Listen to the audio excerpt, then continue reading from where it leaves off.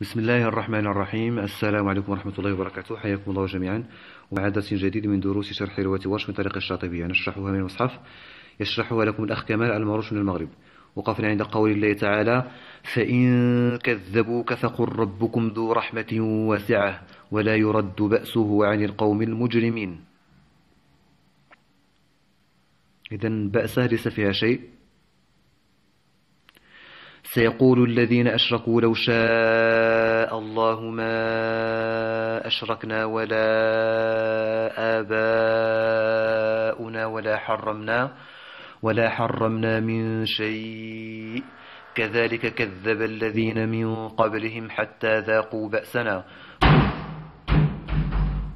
قل هل عندكم من علم فتخرجوه لنا إن تتبعون إلا الظن وإن أنتم إلا تخرصون. لو شاء مد منتصر في الإشباع. ما أشركنا مد منفصل في الإشباع.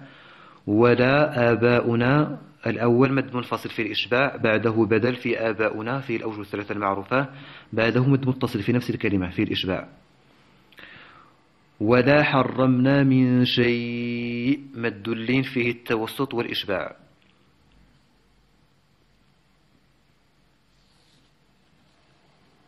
قل هل عندكم من علم فتخرجوه لنا إن مد منفصل في الإشباع.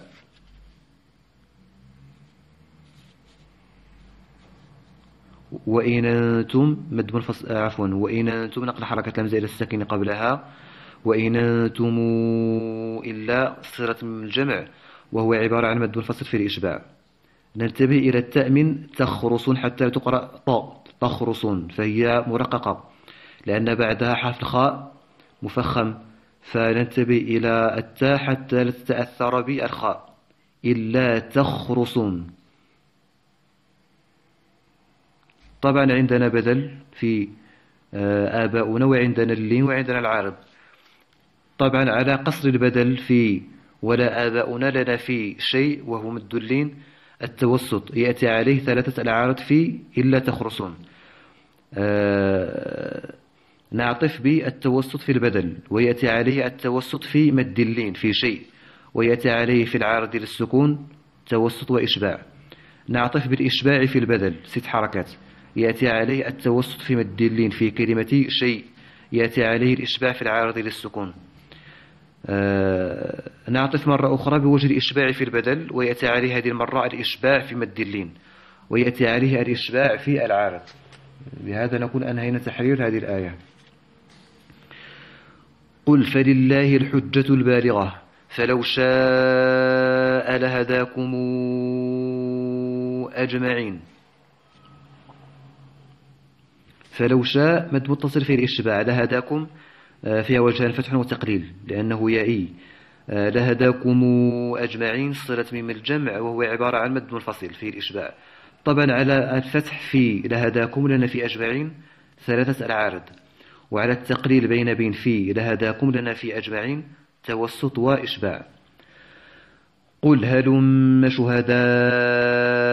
شهداءكم الذين يشهدون أن الله حرم هذا فإن شهدوا فلا تشهد معهم ولا تتبع أهواء الذين كذبوا بآياتنا والذين لا يؤمنون بالآخرة وهم بربهم يعدلون. ننتبه إلى كلمة قل هلم. في حال الوقف عليها نقف بميم مشددة فلا يقرأ أحد قل هلم.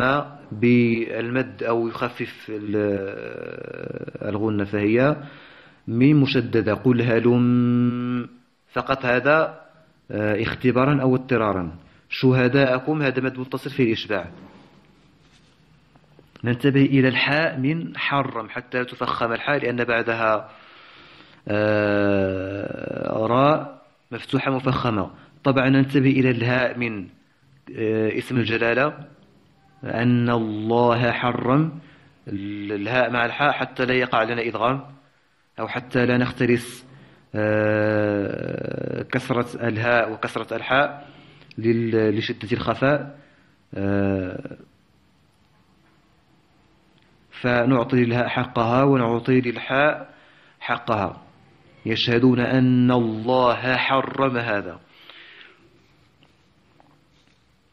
ولا تتبع أهواء الذين نقل حركة الهمزة إلى الساكن قبلها أهواء مد متصل في الإشباع. بآياتنا هذا بدل في الأوجه الثلاثة المعروفة لا يؤمنون إبدال الهمزة خالصة بالآخرة بدل مغير بالنقل في الأوجه الثلاثة المعروفة قصر توسط إشباع.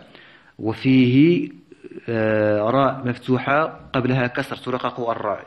إذا بالآخرة فيها نقل وبدل وفيها راء مرققة.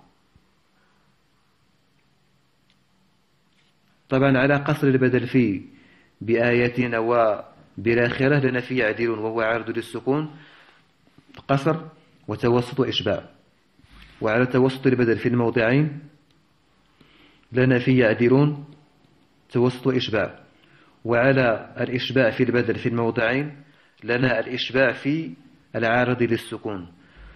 قل تعالى واتل ما حرم ربكم عليكم. ألا تشركوا به شيئا وبالوالدين إحسانا ولا تقتلوا أولادكم من إملاق نحن نرزقكم وإياهم ولا تقربوا الفواحش ما ظهر منها وما بطن ولا تقتلوا النفس التي حرم الله إلا بالحق ذلكم وصاكم به لعلكم تعقلون قل تعالى واتل ما حرم. قل تعالى واتل. نقل حركة الهمزة إلى الساكن قبلها. طبعا إن وقفنا اختبارا أو اضطرارا نقف. قل تعالى واتل. بإسكان اللام.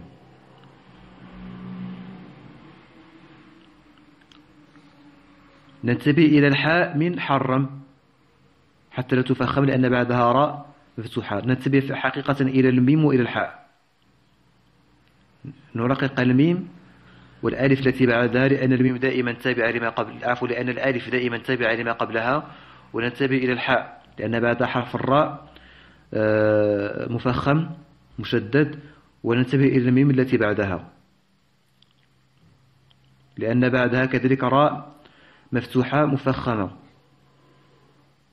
آه، عليكم ألا صلة ميم الجمع وهو عبارة عن مد منفصل في الإشباع. ننتبه إلى تشديد اللام من ألا حتى لا تقرأ مفخم حتى لا تقرأ مخففة. شيئا مد فيه التوسط وفيه الإشباع. وجهان. ولا تقتلوا أولادكم مد متصل مد منفصل في الإشباع. ولا تقتلوا أولادكم مد منفصل في الإشباع. آه، من إملاق نقل حركة الهمزة إلى الساكن قبلها. نحن نرزقكم ننتبه إلى الحاء من نحن آه، حتى لا تخفى. ونعطي لأن في نونين. نحن نرزقكم نون مضمومة بعدها نون مفتوحة. فنعطي الضم حقه في نحن في نحن ونعطي الفتح حقه في نرزقكم. طبعا القاف والكاف آه، القاف مستعلي والكاف مستفل ننتبه إلى القاف والكاف. نرزقكم كل حرف نعطيه حقه. آه، ننتبه إلى الهاء من ما ظهر منها لأنها وقعت بين حرفين مفخمين. الظاء حرف مستعلي والراء حرف مفخم حتى لا تتأثر الهاء بالحرفين. قبلها الحرف قبلها والحرف بعدها كذلك الباء من وما بطن ننتبه إلى الباء حتى لا تفخم لأن بعد حرف الطاء.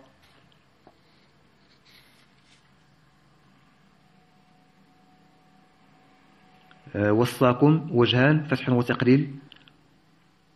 آه،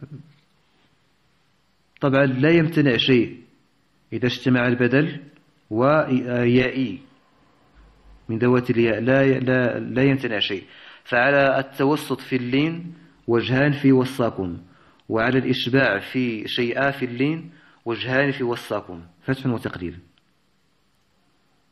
طبعا إذا شئنا على الفتح في وصاكم ثلاثة العارض في تعقلون وعلى آه، التقليل بين بين ثلاثة آه، وعلى التقليل بين بين وجهان في تعقلون. توسط إشباع. نعيد بشكل أوضح. على التوسط في شيء وجهان في وصاكم أو نعيد بشكل أوضح. على التوسط في شيء لنا في وصاكم الفتح ولنا في تعقلون. ثلاثة العارض. نعطف بالتقليل بين بين في وصاكم ويأتي عليه في تعقلون توسط إشباع. إذا نعطف بالإشباع في اللين في شيء يأتي عليه في وصاكم الفتح ويأتي عليه في تعقلون آه ثلاثة العارض. نعطف بالتقليل بين بين في وصاكم ويأتي عليه في تعقلون توسط وإشباع. هذا ما في هذا الوجه والله أعلم وصلى الله وسلم على سيدنا محمد وعلى آله وصحبه أجمعين والسلام عليكم ورحمة الله وبركاته.